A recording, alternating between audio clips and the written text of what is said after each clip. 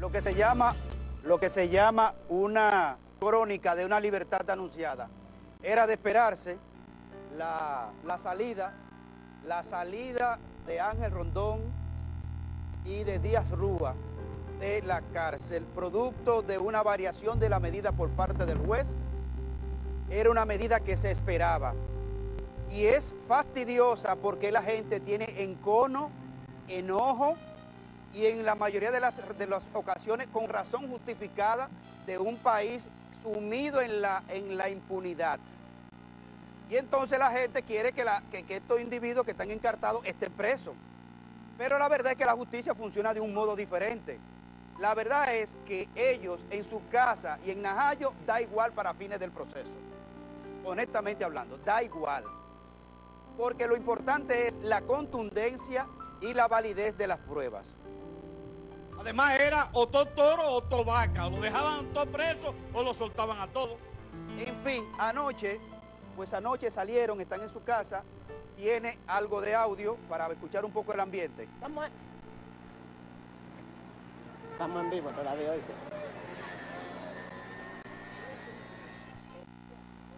Dale audio.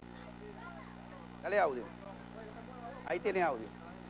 Ese era el momento que iban saliendo exactamente rumbo a su casa anoche, así que están en su casa, pero ojalá, lo que pide la gente es que ojalá el caso se lleve hasta sus últimas consecuencias. Explico cómo Hay el más mismo, el mismo juez que lo metió preso, ¿en qué se basó para soltarlo? Eh, ¿Cuáles fueron los, los, Los, los los elementos de juicio para meterlo Porque yo creo que preso. no debieron meterlo preso nunca. Entonces, ¿cuáles fueron los elementos para soltarlo? Lo que debieron hacer fue ellos instrumentar entonces un expediente de manera correcta, porque Bueno. todos sabemos muy que bien que la mala instrumentación es una estrategia también Pero tú de crees la por qué yo debilidad digo de la que no debieron meterlo preso. ¿Eh? Por eso digo, no debieron meterlo preso y que no se hubiese hecho este jodido circo. Lo que, lo que si no hay prueba, Sí. no se debe de someter a nadie a la justicia. Porque cuando lo descargan en la justicia, entonces usted lo que le está es lavando el dinero. Tú sabes, Bueno. tú sabes que ahí hay Ahí un- volvemos a la evacuación. Tú sabes que es, es duro lo que voy a decir, porque nadie quiere defender a Díaz Rúa, porque es un hombre que está, digamos, eh, desacreditado a nivel público. Pero tú eres el defensor de los más no, necesitados. No, no. Oye lo que te voy a decir. Oye lo que te voy a decir. Yo aquí no defiendo a nadie, porque primero no tengo vínculos ni relaciones con ninguno de ellos. Y su cuarto, si se lo ganaron, se lo ganaron ellos.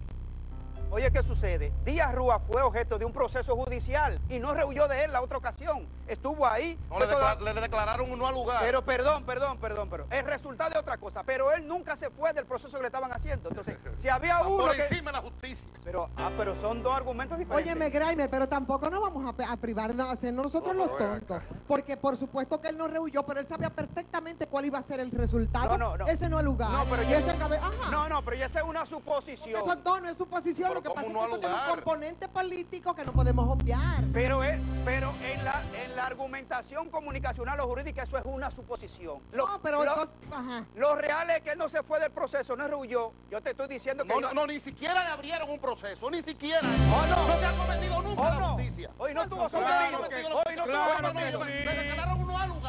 Eh, claro, pero- Ese está por infórmese. encima de la justicia. No, infórmese, a él le abrieron un proceso y también a Félix Bautista. Oh. y de ¿Quién ambos le dijo que se informara? Aventura. ¿Cómo que- Óyeme, óyeme, ¿Cuál proceso? El proceso iba a ser que cuando... se cogido unos cuantos, ojalá le abran un proceso así. Pero- para que lo descarguen. pero óyeme. Ya tiene su dinero lavadito de Yo- ellos. ¿Me El proceso iba a ser ir al fondo del Mira. asunto, pero al final de es de Danilo. No, No. de Leonel. De Leonel. ellos Ah. están repartidos. Sigue preguntando, sigue preguntando. Sigue preguntando. Sigue preguntando. Sigue preguntando Sigue porque. Rondón es de Danilo. No, No, ¿quién- quién- repartido. Rondón es de todos. Rondón Sigue es de quién? preguntando de Danilo. De no, todos. Rondón es de todos. Rondón- es de Rondón es Danilo, hasta de es Balaguer. Es de Hipólito. De Balaguer. Le todos, de Lo todos. de Hasta Danilo de vendrán, Miguel. lo de Danilo Le vendrán, dio si Leonel gana. todo, Y- Rondón. y te- Si Hasta- Leonel gana, lo de Chiquito. Danilo vendrán entonces. Y te mito que le de quién es. ¿O usted no recuerda. Ese es, ese Ah, es, ese de- Danilo. Pero te mito te claro, estamos hablando juntos. Ay, qué locura, ¿qué es esto? Te Estamos digo algo. juntos. Yo, yo, Uno a uno. oye Se ha bien. requerido el uno a uno para poder entendernos. Favor, uno a Oye, uno. oye esto. Vamos a mira. escucharnos. Aquí no hay un partido. Díaz Rúa Ah, llega aquí, aquí a este estudio y fácilmente no sabe bien cómo yo me llamo. Nunca hemos hablado, nunca en mi vida hemos hablado. Si A, acaso a un ti te conoce el país entero. Si acaso No un aquí. saludo, oye, si acaso un saludo. Oye, ¿qué pasa, Iván? Fíjate lo que yo dije. Lo que voy a decir ahora, dije anteriormente, que lo que voy a decir iba a levantar rocha. ¿Por qué? porque es que aquí hay una necesidad muy evidente de que la gente quiere sometimiento y Pero cárcel y que pague. No, pero no solo sometimiento, que devuelvan mis cuartos también. Ah. Hoy con- si se condena. demuestra. La Condena. gente quiere condena, la gente quiere No, condena. no oye, yo quiero mi cuarto, eh. Yo quiero mi cuarto. Ahora. además de la condena. Ahora. que me devuelvan mis cuartos. Ahora, que tenemos que estar pidiendo para resolver el problema a gente. Ahora, más allá del deseo, oye, ahora bien, más allá del deseo y de la necesidad que tiene la sociedad de justicia, hace falta la prueba contundente para que eso sí, no tenga- eso sí, claro. Oye, Graimer, pero allá, esa prueba, oye, óyeme, Gray, Gray, más oye. allá, más pero- allá del deseo que yo quiera que estén presos, la verdad es que ninguno de esos individuos se van a sustraer de su proceso. Eh, Ivonne, Ivonne. Gray, pero esas pruebas no van a ser nunca contundentes si ellos no hacen la investigación, que es lo que se hizo en el caso de Odebrecht. Ellos se cruzaron de brazos, ellos Tú no han sabes- investigado nada porque no quieren encontrar ¿Tú esas pruebas y eso tú también es sabes quién tenía- debió tener mi decoración bajo llave? Inexcusable, Bernardo Castellano, porque Bernardo Castellano duró mucho tiempo rehuyendo el proceso judicial y cuando vino le pusieron una visita periódica en su casa. Bueno, Váyase por- por ahí. Pero tan, tan, tan suelto, tan suelto, que es lo importante. Tan suelto. Eso es lo peor de todo, que Bueno, están todos mira, sueltos. no debieron meterlo preso nunca. Finalmente, Abigail, que no ha dicho nada. Lo primero que el juez tiene siete medidas que puede tomar. Siete. Y entre ellas, 226. y, ¿cómo es? Artículo 226 con las siete medidas de medida de coerción. Es así, Muchas señor. gracias, señor Bosch. Siempre, señor.